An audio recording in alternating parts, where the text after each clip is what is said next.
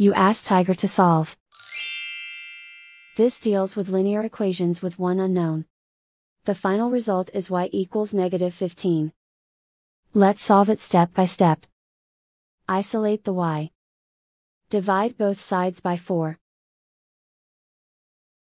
Simplify the fraction. Find the greatest common factor of the numerator and denominator. Factor out and cancel the greatest common factor. And so the final result is y equals negative 15.